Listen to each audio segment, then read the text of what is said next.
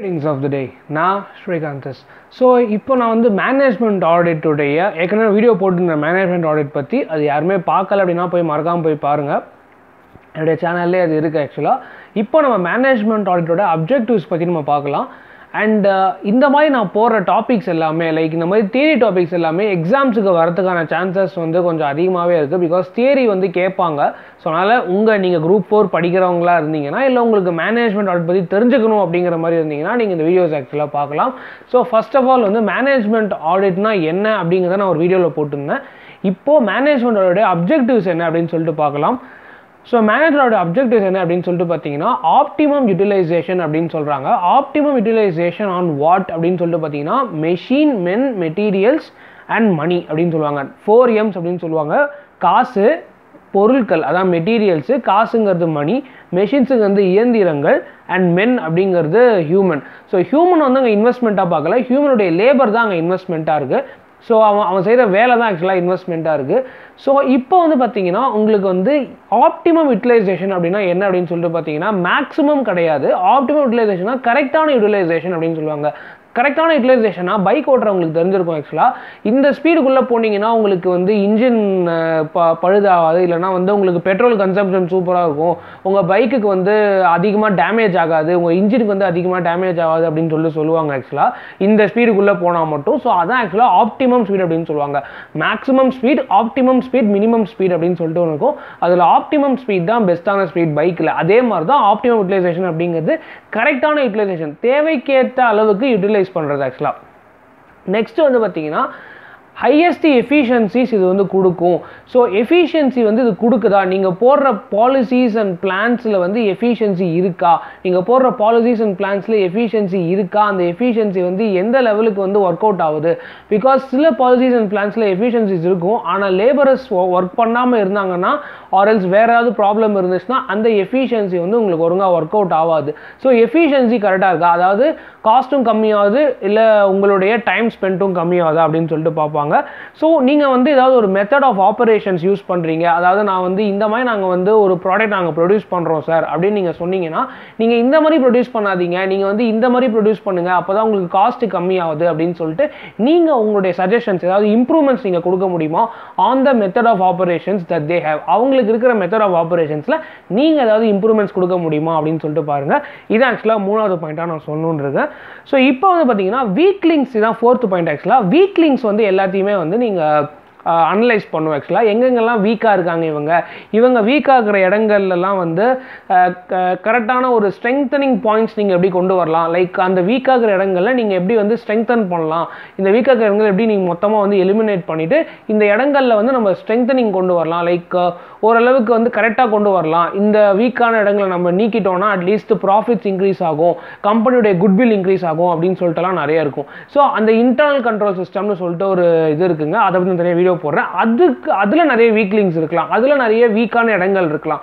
அந்த வீக்கான இடங்களை நம்ம எப்படி வந்து நீக்கிறோம்? எப்படி வந்து ஒரு மேனேஜ்மெண்ட் ஆடிட்டர் வந்து அந்த விஷயங்கள் எல்லாத்தையுமே தவிர்க்கிறாரு அப்படின்னு சொல்லிட்டு சொல்லலாம். இதான் ஃபோர்த்து பாயிண்ட் ஆக்சுவலாக ஸோ எலிமினேஷன் ஆஃப் வீக்லிங்ஸ் நீங்கள் வீக்லிங்ஸை எலிமினேட் பண்ணணும். இன்டர்னல் கண்ட்ரோல் சிஸ்டமில் ஏதாவது வீக்லிங்ஸ் இருக்கலாம்.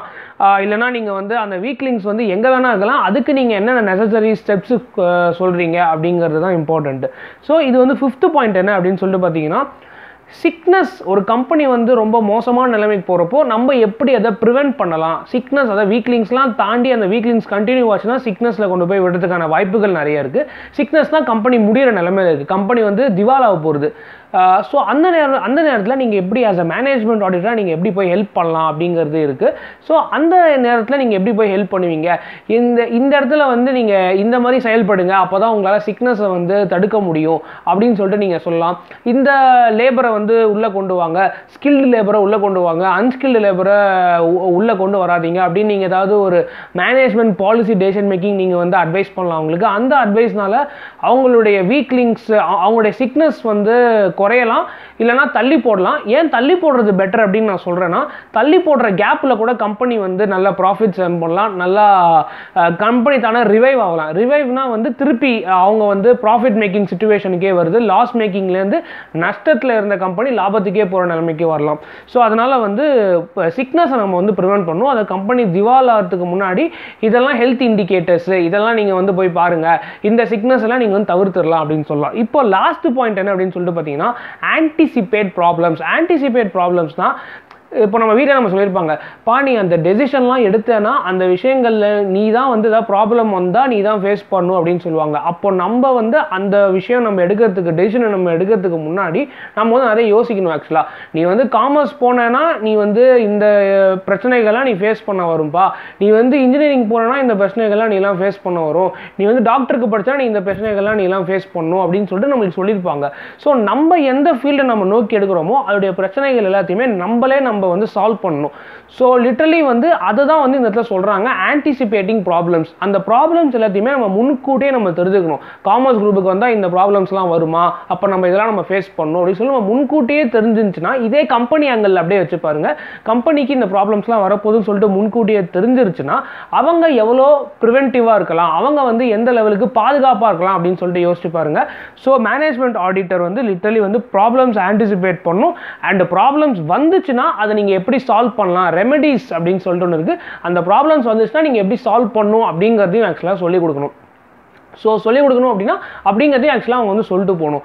ஸோ லிட்ரலி இந்த ஆறு பாயிண்ட்ஸ் தான். இந்த ஆறு பாயிண்ட்ஸ்லாம் எங்கே இருக்குப்பா அப்படின்னா நம்மளுடைய டெக்ஸ்ட் புக்லேயே இருக்குது ஆக்சுவலாக நீங்கள் அதை வந்து பார்த்துக்கலாம். ஸோ இந்த ஆறு பாயிண்ட்ஸ் தான் வந்து நான் இன்டர்நெட்ஸையும் நான் நான் ப்ரௌஸ் பண்ணுறப்போ இந்த ஆறு பாயிண்ட்ஸ் தான் எனக்கு கிடச்சிது. ஸோ ப்ரௌஸ் பண்ணுறப்போனா இது வந்து கொஞ்சம் வேறு மாதிரி எக்ஸ்பிளைன் பண்ணியிருந்தாங்க. பட் நான் இந்த ஆறு பாயிண்ட் தான். ஸோ அதனால தான் நான் இந்த ஆறு பாயிண்ட் அப்படியே நான் வச்சு சொல்லிட்டேன்.